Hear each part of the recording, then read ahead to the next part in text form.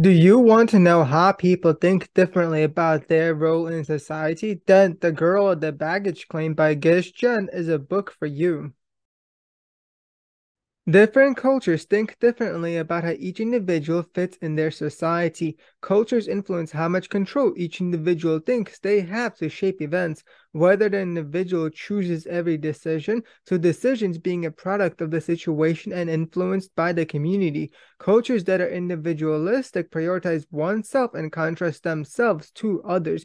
Cultures that are interdependent flexi self do not have clear personal boundaries for the boundary is fluid within their group, but do have a boundary for an out group. Individualistic cultures prioritize individual achievement and effort. Flexi self cultures prioritize the context and community that facilitated the achievement. Different ways of understanding can create misunderstanding when interpreting the decisions of people from other cultures, a cultural clash. Each type of culture has its advantages and disadvantages. The dichotomy between individualistic and flexi self has deviations for individuals within the cultures can think differently. People and organizations can also become ambidependent by making decisions and interpreting them using both types of understandings.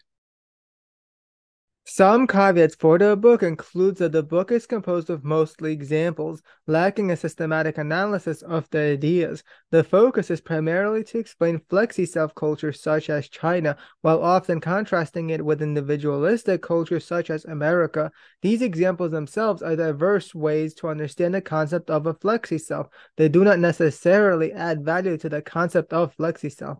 Till the next review.